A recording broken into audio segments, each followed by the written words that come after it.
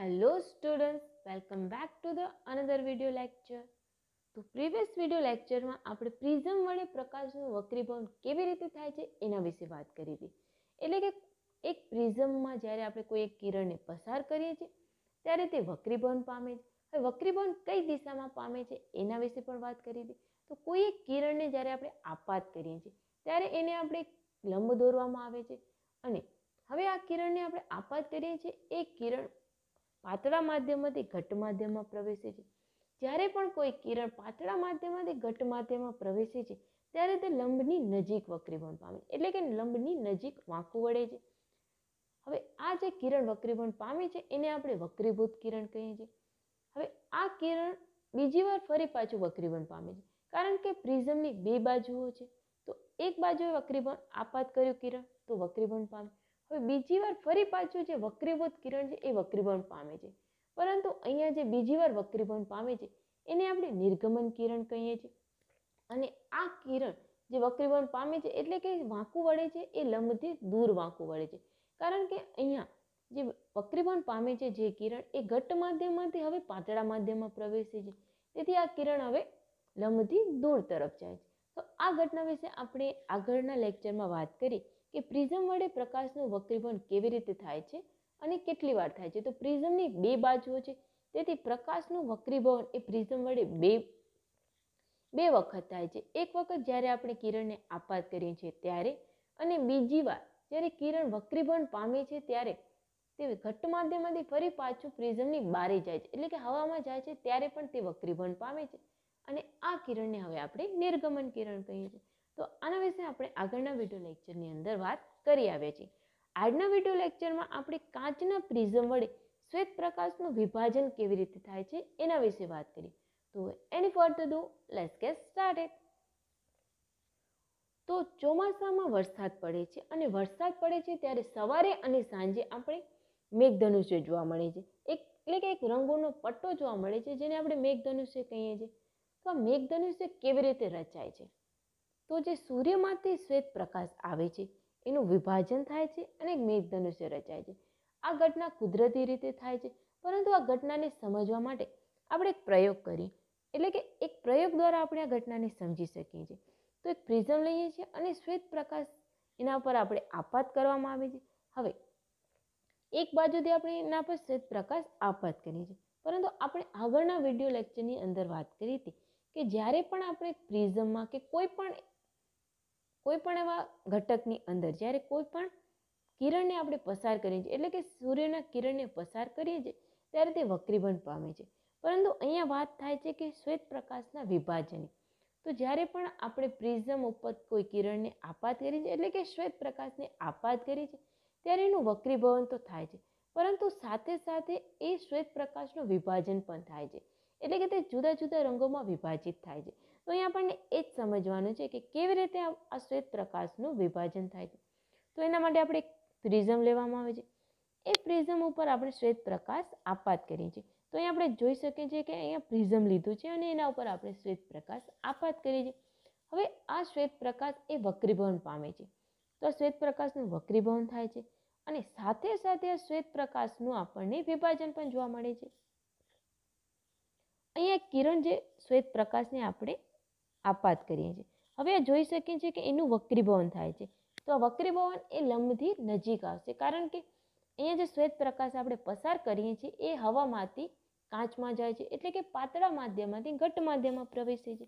તો અહીંયા જે વક્રીભવન પામે છે જે કિરણ, એ લંબની નજીક આવશે. તો આને જોઈ શકીએ અહીંયા આપણે જોઈ શકીએ છીએ કે આ લંબની નજીક આપણને વક્રીભવન પામેલું જોવા મળે છે. હવે સાથે સાથે આ પ્રકાશનું વિભાજન પણ થાય છે. તો વિભાજન થયેલું જે પ્રકાશ છે, એ સાત રંગોમાં આપણને જોવા મળે છે. તો આ જોવા માટે આપણે જે અહીંયા સામેની બાજુ છે અહીંયા આપણે એક બ્લેન્ક પેપર રાખી શકીએ છીએ અને આપણે જોઈ શકીએ છીએ કે આપણને સાત રંગો એ આ પેપર ઉપર આપણને જોવા મળશે. જેવી રીતે મેઘધનુષ્યમાં આપણને સાત રંગો જોવા મળે છે, એવી જ રીતે અહીંયા પણ એ જ ઘટના આપણને જોવા મળશે કે જ્યારે પણ કોઈ કિરણને આપણે પસાર કરીએ છીએ, એટલે કે પ્રિઝમ ઉપર આપાત કરીએ છીએ ત્યારે તે વક્રીભવન પામે છે. વક્રીભવન પામે છે એની સાથે સાથે એનું આ સાત રંગોમાં વિભાજન પણ થાય છે. અને આ સાત રંગોનું જે વિભાજન થયેલું છે, એટલે કે જે સાત રંગો, આપણે જુદા જુદા સાત રંગો જોવા મળે છે, એ સાત રંગોને આપણે કાગળ ઉપર જોઈ શકીએ છીએ. જેમ કે, અને આ સાત રંગોને આપણે જાનીવાલી પિનારા તરીકે પણ ઓળખીએ છીએ. એટલે કે જાંબલી રંગ, નીલો રંગ, વાદળી રંગ, લીલો રંગ, પીળો રંગ, નારંગી રંગ અને રાતો રંગ. તો આવી રીતે આપણે જે સાત રંગો જોવા મળે છે, એને આપણે જાનીવાલી પિનારા તરીકે ઓળખીએ છીએ અને મેઘધનુષ્યમાં પણ આપણને આ સાત રંગો જોવા મળે છે. અને અહીંયા પણ આપણે સાત રંગો જોવા મળે છે. પરંતુ જે સાત રંગો આપણને જોવા મળે છે, જે આપણને કાગળો પણ આપણે જોઈએ છીએ, આ સાત રંગો આપણને અલગ અલગ જોવા નથી મળતા. અને મેઘધનુષ્યમાં પણ આપણે જોઈએ છીએ કે આ જે સાત રંગો, જે સાત રંગોનો વર્ણપટ છે, એ આપણને અલગ અલગ રંગો નથી બતાવતો. આ બધા રંગો એકબીજા સાથે મર્જ થઈ ગયા હોય છે, એકબીજા સાથે મિશ્રિત થઈ ગયા હોય છે. તો તેથી આપણને આ જે સાત રંગો છે, એ આપણને અલગ અલગ જોવા નથી મળતા. તો જે આ પ્રકાશનું વિભાજન થાય છે, એટલે કે શ્વેત પ્રકાશનું તેના ઘટક રંગોમાં વિભાજન થાય છે, તે ઘટનાને આપણે પ્રકાશનું વિભાજન કહીએ છીએ. એટલે કે આ જે શ્વેત પ્રકાશ આપણે પસાર કરીએ છીએ, એના, આ જે શ્વેત પ્રકાશનું એના ઘટક રંગોમાં વિભાજન થાય છે. એટલે કે આ શ્વેત પ્રકાશનું સાત અલગ અલગ રંગોમાં વિભાજન થાય છે. તો આ ઘટનાને આપણે પ્રકાશનું વિભાજન કહીએ છીએ. તો અહીંયા આપણને એક પ્રશ્ન થાય છે કે પ્રિઝમ દ્વારા જ્યારે આપણે શ્વેત પ્રકાશ આપાત કરીએ છીએ ત્યારે એનું વક્રીભવન થઈ અને તે જુદા જુદા રંગો કેવી રીતે મળે છે આપણને? તો આ ઘટના એ વક્રીભવન દ્વારા થાય છે. જ્યારે પણ આપણે શ્વેત પ્રકાશને આપાત કરીએ છીએ, આ શ્વેત પ્રકાશની અંદર બધા જ રંગો હોય છે. એટલે કે શ્વેત પ્રકાશમાં બધા જ રંગોની તરંગ લંબાઈવાળા કિરણો આવેલા હોય છે. તો અહીંયા આપણે જોઈ શકીએ છીએ કે આ શ્વેત પ્રકાશને આપણે આપાત કરીએ છીએ. તો આપણને એ ખ્યાલ છે કે જ્યારે પણ આપણે કોઈ પણ કિરણને એક માધ્યમમાંથી બીજા માધ્યમમાં એને આપાત કરીએ છીએ, એટલે કે કોઈ પણ કિરણ એક માધ્યમમાંથી બીજા માધ્યમમાં પસાર થાય છે, ત્યારે એનું વક્રીભવન થાય છે. તો અહીંયા જે આપણે શ્વેત પ્રકાશને આપાત કરીએ છીએ. આ શ્વેત પ્રકાશ એ પાતળા માધ્યમમાંથી ઘટ્ટ માધ્યમમાં થાય છે. પાતળા માધ્યમમાંથી ઘટ્ટ માધ્યમમાં જાય છે ત્યારે એનું વક્રીભવન થાય છે. પરંતુ આ જે શ્વેત કિરણ છે, શ્વેત પ્રકાશ છે, એમાં બધા જ રંગો આવેલા છે. હવે આ બધા રંગોનું વક્રીભવન થાય છે. પરંતુ આ બધા રંગોનું વક્રીભવન થાય છે, પરંતુ આ બધા રંગોનું વક્રીભવન એ સમાન થતું નથી. એટલે કે આપણે જોઈ શકીએ છીએ કે લાલ રંગનું વક્રીભવન સૌથી ઓછું જોવા મળે છે. તો અહીંયા ફર્સ્ટ એ લાલ રંગ આપેલું છે આપણને. આ લાલ રંગ એ ઓછું વળાંક વળેલું જોવા મળે છે. એટલે કે આપણે એમ કહી શકીએ કે આ લાલ રંગનું વક્રીભવન એ ઓછું થયેલું જોવા મળે છે. એવી જ રીતે આપણે જાંબલી રંગ જોઈએ છીએ જે સૌથી નીચે આપેલું છે. તો આ જાંબલી રંગ એ આપણને વધારે વળેલું જોવા મળે છે. તેથી આપણે એમ કહી શકીએ કે જાંબલી રંગનું વક્રીભવન એ વધારે થાય છે. તો એવી રીતે આપણે જે શ્વેત પ્રકાશ આપાત કરીએ છીએ, એનું વક્રીભવન થાય છે. પરંતુ એનું વક્રીભવન એ અલગ અલગ થાય છે. એટલે કે સમાન થતું નથી. બધા કિરણોનું અને બીજા બધા કિરણો છે, એનું વક્રીભવન એ આ બધા આ જાંબલી અને રાતા રંગની વચ્ચે થાય છે. તો આવી રીતે વક્રીભવન એ અલગ અલગ થાય છે. તો બધા જ રંગોનું જે વક્રીભવન છે એ સમાન થતું નથી. હવે સમાન ન થવાને લીધે જે પ્રકાશ બારે નીકળે છે, એનું વિભાજન આપણને જુદા જુદા રંગોમાં જોવા મળે છે. એના લીધે જ આપણે એ જુદા જુદા રંગો દેખાય છે, એટલે કે એક પટ્ટો જોવા મળે છે, જેને આપણે રંગોનો વર્ણપટ કહીએ છીએ. તો અહીંયા આપણે જોઈએ છીએ કે આ જે કિરણને આપણે આપાત કર્યું, એનું વક્રીભવન થયું અને આ વક્રીભવન આપણને સમાન જોવા નથી મળતું. એટલે આપણને આ રંગો છે એ આપણને અલગ અલગ દેખાય છે. એટલે એક રંગોનો આપણને વર્ણપટ જોવા મળે છે. રંગોનો એક પટ્ટો જોવા મળે છે. એને આપણે રંગોનો વર્ણપટ કહીએ છીએ. તો આ હતું કે કેવી રીતે આપણે કાચના પ્રિઝમ વડે શ્વેત પ્રકાશનું વિભાજન કરી અને આપણને અલગ અલગ રંગો મળી શકે છે. ત્યારે આપણે ફિગરમાં કે કેવી રીતે આપણે કાચનું જે કાચના પ્રિઝમ વડે શ્વેત પ્રકાશનું વિભાજન કરી શકીએ છીએ? અને આ એકચ્યુઅલ ફિગર છે કે કેવી રીતે આપણને આ સાત રંગો પ્રિઝમમાં જ્યારે શ્વેત પ્રકાશની આપાત કરીએ છીએ ત્યારે આપણને મળે છે.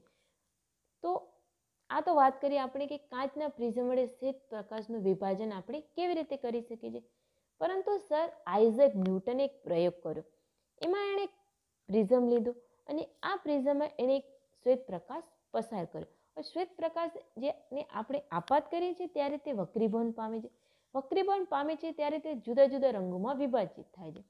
એના વિશે આપણે આગળ ખ્યાલ મેળવ્યો કે કેવી રીતે આ વક્રીભવનની પ્રક્રિયા થાય છે અને કેવી રીતે આ જુદા જુદા રંગો આપણને જોવા મળે છે.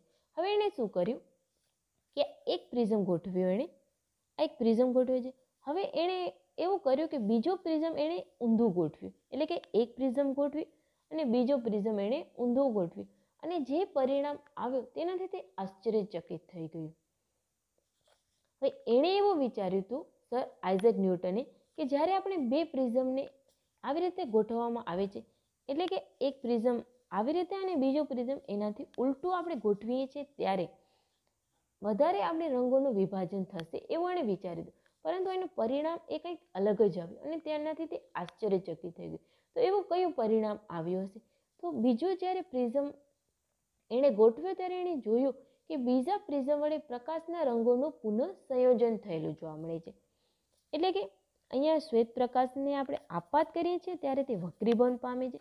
વક્રીભવન પામે છે ત્યારે તે જુદા જુદા રંગોમાં વિભાજિત થાય છે. પરંતુ જ્યારે આપણે બીજા પ્રિઝમને ઉલટું મૂકીએ છીએ પહેલા પ્રિઝમ કરતાં, ત્યારે આ બધા રંગો છે જેનું વિભાજન થયેલું છે અને જે બારે નીકળેલા આપણને જોવા મળે છે. આ બધા રંગોનું બીજા પ્રિઝમ વડે એનું પુનઃ સંયોજન થયેલું જોવા મળે છે. એટલે કે હવે આ બધા રંગો એ ભેગા થઈ જશે અને ફરી પાછું જ્યારે એ કિરણ નીકળશે તે આપણને એ શ્વેત પ્રકાશનું કિરણ આપણને જોવા મળશે. તો આવું કંઈક આ પ્રયોગ દ્વારા ન્યૂટને જોયું.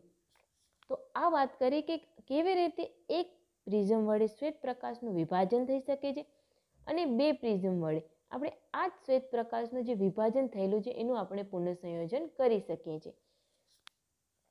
હવે આપણે જે આ એકચ્યુઅલ ફિગર છે, એ કંઈક આવી રીતે જોવા મળે છે કે જ્યારે આપણે શ્વેત પ્રકાશને આપાત કરીએ છીએ, ત્યારે આપણને અલગ અલગ રંગો જોવા મળે છે. હવે આ અલગ અલગ રંગો એ પુનઃસંયોજન થઈ અને ફરી પાછો આપણને શ્વેત પ્રકાશ મળે છે. તો આ તો વાત કરી આપણે બે પ્રિઝમ વડે કેવી રીતે આપણે રંગોનું પુનઃસંયોજન કરી શકીએ છીએ.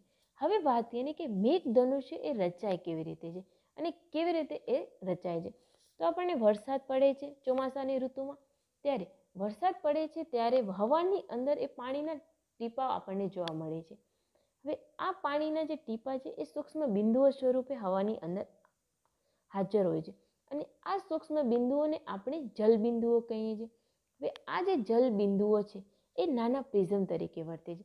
આપણે પ્રિઝમમાં એ ખ્યાલ સ્પષ્ટ કર્યો કે કેવી રીતે આપણે શ્વેત પ્રકાશને પસાર કરીએ છીએ ત્યારે પ્રિઝમ દ્વારા એ રંગોનું વિભાજન થાય છે. એવી જ ઘટના અહીંયા બને છે. જલબિંદુઓ છે એ નાના પ્રિઝમ તરીકે વર્તે છે અને હવાની અંદર આવા અસંખ્ય જલબિંદુઓ આવેલા હોય છે. હવે શ્વેત પ્રકાશ જ્યારે આ જલબિંદુઓ પર પડે છે ત્યારે આ શ્વેત પ્રકાશનું વિભાજન થાય છે અને આપણને અલગ અલગ રંગો જોવા મળે છે. પરંતુ આ ઘટના રચાય, બની કઈ રીતે છે? તો એના વિશે વાત કરીએ તો અહીંયા આપણે જોઈ શકીએ છીએ એક કે આ એક પાણીનું ટીપું છે. અને આવા ટીપા એ વાતાવરણની અંદર, હવાની અંદર ઘણા બધા હાજર હોય છે. તો જ્યારે પણ શ્વેત પ્રકાશને આપણે આ પાણીના ટીપા પર આપાત કરીએ છીએ ત્યારે, હવે જ્યારે આપાત થાય છે ત્યારે તે પાતળા માધ્યમમાંથી ઘટ માધ્યમમાં પ્રવેશે છે. એટલે કે હવામાંથી પાણીના ટીપાની અંદર પ્રવેશે છે. ત્યારે એનું વક્રીભવન થાય છે. હવે વક્રીભવન થાય છે. એટલે કે આ મેઘધનુષ્ય રચવાની પહેલી ઘટનામાં, પહેલી ઘટના વક્રીભવન થાય છે. હવે જ્યારે વક્રીભવન થાય છે, ત્યારે ટીપાની અંદર પ્રકાશનું વિભાજન પણ જોવા મળે છે. એટલે કે બીજી ઘટના આપણને પ્રકાશનું વિભાજન જોવા મળે છે. તો અહીં આપણે ફિગરમાં જોઈ શકીએ છીએ કે જ્યારે આપણે સૂર્યપ્રકાશને અથવા તો શ્વેત પ્રકાશને પાણીના ટીપા પર આપાત થાય છે, ત્યારે એનું વક્રીભવન થાય છે. અને સાથે સાથે આ પ્રકાશનું વિભાજન થયેલું જોવા મળે છે. તો અહીં આપણે જોઈ શકીએ છીએ કે ઘણા બધા રંગો આપણને જોવા મળે છે.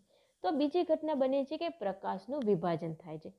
હવે વિભાજિત થયેલા જે રંગો છે, એ સામેની બાજુ જાય છે. તો અહીંયા જ્યાં વિભાજિત થયેલા રંગો છે, એ આપણને સામેની બાજુ, એટલે કે આ પાણીના ટીપોની જે સામેની બાજુ છે, ત્યાં જાય છે. એટલે કે ત્યાં આપાત થાય છે અને ત્યાંથી તે પછડાય અને પાછા ફરે છે. તો અહીંયા આ કિરણો જે છે, શ્વેત પ્રકાશના જે વિભાજન થયેલા છે, આ બધા કિરણો એ આ સામેની બાજુ આપાત થાય છે અને ત્યાં તે પછડાઈ અને ત્યાંથી તે પાછા ફરે છે. એટલે કે અહીંયા પરાવર્તનની ઘટના થાય છે. અને આ ઘટના એ ટીપાની અંદર થતી હોવાથી આ ઘટનાને આપણે આંતરિક પરાવર્તન કહીએ છીએ. હવે આ કિરણ અહીંયાથી આપાત થાય છે, અહીંયાથી પછડાય છે અને ફરી પાછું એ પછડાય અને પાછો ફરે છે. એટલે કે પરાવર્તનની ઘટના થાય છે. તો ત્રીજી ઘટના પરાવર્તનની થાય છે અને ચોથી ઘટના થાય છે કે આ જે રંગો છે એ બહારની બાજુ આવે છે. તો અહીંયા જોઈ શકીએ છીએ ચોથી ઘટના, રંગો એ બહારની બાજુ આવે છે. હવે અહીંયા જે રંગો છે એ ઘટ્ટ માધ્યમમાંથી ફરી પાછા પાતળા માધ્યમમાં આવે છે. એટલે કે ફરી પાછી વક્રીભવનની ઘટના થાય છે. તો આ રંગો એ ઘટ્ટ માધ્યમમાંથી બહાર આવે છે, પાતળા માધ્યમમાં અને આપણને એક સાત રંગોનો એક વર્ણપટ જોવા મળે છે, જેને આપણે મેઘધનુષ્ય કહીએ છીએ. તો આ ઘટના એ અસંખ્ય ટીપા દ્વારા થાય છે. એટલે કે હવાની અંદર આવા અસંખ્ય ટીપા આવેલા હોય છે. અને આ અસંખ્ય ટીપા એ નાના નાના પ્રિઝમ તરીકે વર્તે છે. અને જ્યારે પણ સૂર્યના કિરણો એ આ નાના ટીપા પર પડે છે, ત્યારે વક્રીભવન થાય છે. એનું વિભાજન થાય છે. ફરી પાછું ફરી પાછું આંતરિક પરાવર્તન થાય છે અને ફરી પાછું એનું વક્રીભવન થઈ અને આપણને વર્ણપટ જોવા મળે છે. એટલે કે જેને આપણે મેઘધનુષ્ય કહીએ છીએ. એટલે કે આપણને સાત રંગોનો પટ્ટો જોવા મળે છે, જેને આપણે મેઘધનુષ્ય કહીએ છીએ. તો કુદરતમાં જે મેઘધનુષ્ય રચાય છે, એ કંઈક આવી રીતે રચાય છે. આપણે અહીંયા એક ખ્યાલ થાય છે અથવા તો એક વિચાર આવે છે કે જે મેઘધનુષ્ય રચાય છે, એ શા માટે સૂર્યની વિરુદ્ધ દિશામાં જ રચાય છે? કેવી રીતે એ સૂર્યની વિરુદ્ધ દિશામાં જ રચાય છે? તો આ ખ્યાલને આપણે અહીંયા સ્પષ્ટ કરીએ કે આ સૂર્યની લાઇટ છે, એટલે કે આપણે શ્વેત પ્રકાશે આપાત કરીએ છીએ. તો સૂર્ય આ સાઈડ હશે એવું આપણે અનુમાન લગાડી દઈએ અને સૂર્ય જે પાણીની બિંદુઓ છે, જે જલ બિંદુઓ છે, એ સૂર્યની વિરુદ્ધ દિશામાં છે.